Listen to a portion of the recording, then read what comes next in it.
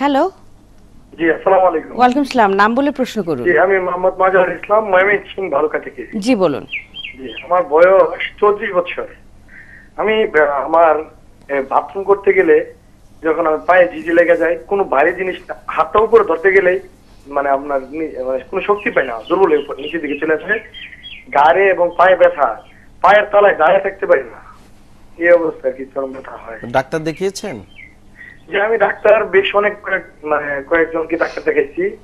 কিন্তু আসলে কোনো কোনো ইমপ্রুভমেন্ট হয় না। না এমনি ইমপ্রুভ না হোক কিন্তু আপনাকে বলেছে যে এই জাতীয় রোগ হয়েছে বা এই জাতীয় সমস্যা আপনার এই জাতীয় হ্যাঁ বলেন।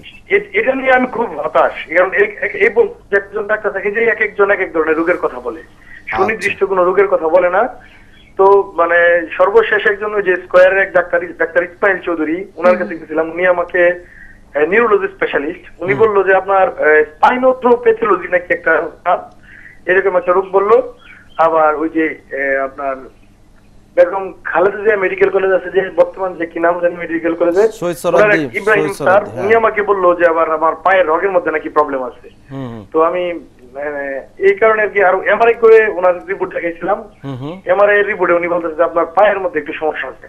তো এক আচ্ছা। একজনকে একটা কথা বলে এখন আসলে কি যে সমস্যা বুঝতে পারতেছি না। আচ্ছা ধন্যবাদ। আসলে ওনার রোগটা ডায়াগনোসিস এখনও কনফার্ম হয় না।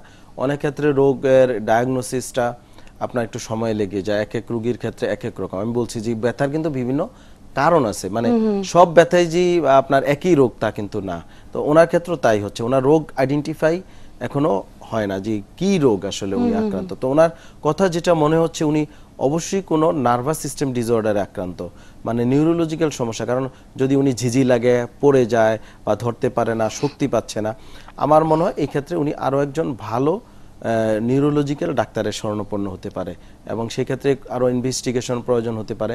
এটা কারণ ডায়াগনোসিস যদি কনফার্ম না হয় তাহলে কিন্তু আপনার সঠিক চিকিৎসা হবে না এবং রোগ কিন্তু আস্তে আস্তে আরও বাড়তেই থাকবে। হ্যাঁ। যদি ডায়াগনোসিসটা প্রাইমারি কনফার্ম হয়ে যায় তাহলে রুগী কিন্তু জেনে যাচ্ছে যে তার কি রোগ এটা ভবিষ্যৎ কি। আমরা রোগের ভবিষ্যৎকে বলি প্রগনোসিস অফ ডিজিজ যে রোগের ভবিষ্যৎ কি ফ্যাট কি?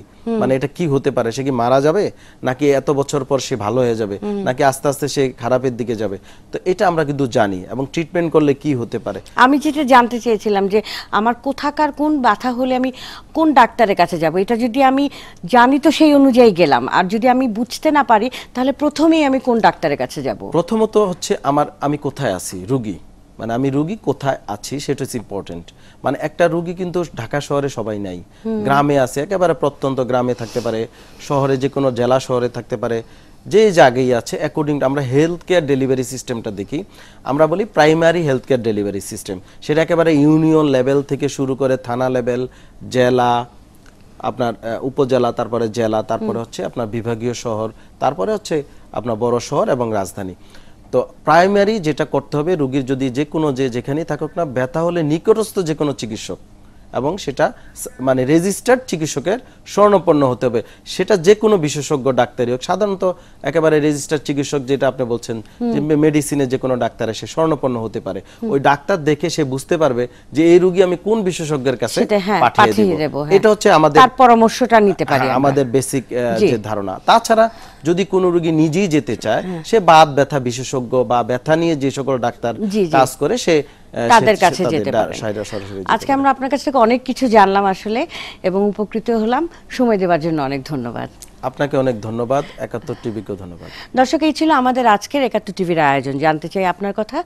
তাই যোগ দিন আমাদের একাত্তর ফেসবুকে। ভালো থাকুন সুস্থ থাকুন আর অবশ্যই থাকুন আমাদের একাত্তর টিভির সাথে। আমরা জানি আপনার প্রিয়জন আপনার জন্য কতটা গুরুত্ব বহন করে। প্রপার ডায়াগনোসিস কনসালটেশন পেইন ও প্যারালাইসিস চিকিৎসা পুনর্বাসন আমাদের সব আয়োজনে সব সময় আপনাদের জন্য চব্বিশ ঘণ্টা খোলা। আমরা চাই না আপনারা বারবার আমাদের কাছে ফিরে আসুন তবুও আমরা আছি সব সময় সর্বদা আপনাদের পাশেই। ডিপিআরসি হসপিটাল লিমিটেড আস্থা বিশ্বাস ও নির্ভরতায় অবিচল। নিয়মিত স্বাস্থ্য বিষয়ক আপডেট ও পরামর্শ পেতে আমার ইউটিউব চ্যানেলটি সাবস্ক্রাইব করুন ও উপরের ডান পাশের বেল বাটনটি চাপুন এবং আপনাদের অন্যান্য সোশ্যাল মিডিয়ায় এই ভিডিওটি শেয়ার করুন।